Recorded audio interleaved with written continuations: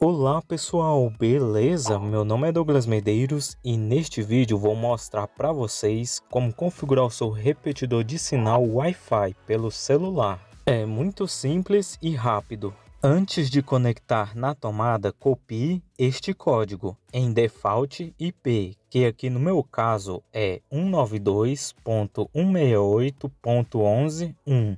Agora vamos conectar na tomada e ir para a parte de configurar pelo celular.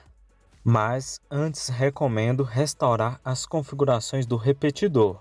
Com ele na tomada, aperte este botão da lateral e mantenha pressionado por 10 segundos. Agora é só aguardar ele resetar.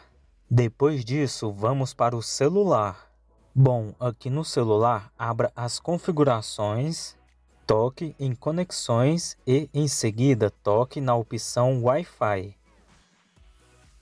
Aqui você vai tocar no sinal Extender. Ao conectar, vocês podem ver que ainda não vai ter internet. E agora que você vai utilizar aquele código que eu tinha falado antes do vídeo.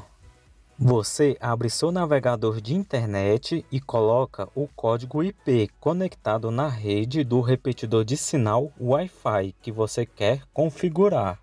Nesta tela, selecione Login. Aqui você vai tocar nesta primeira opção, Repeater Mode Settings. Aqui selecione a rede do seu roteador que você quer repetir o sinal Wi-Fi. Aqui você vai digitar a mesma senha que você utiliza para conectar no sinal Wi-Fi do seu roteador. E marcando esta opção, você pode alterar o nome do sinal Wi-Fi do seu repetidor. Eu vou estar deixando desta forma mesmo. Agora selecione em próximo e em seguida toque em Finish para confirmar. Só aguardar por cerca de uns 30 segundos para ele configurar. Após configurar, vá na tela de Wi-Fi, toque na rede do repetidor e digite a mesma senha que você digitou anterior para configurar.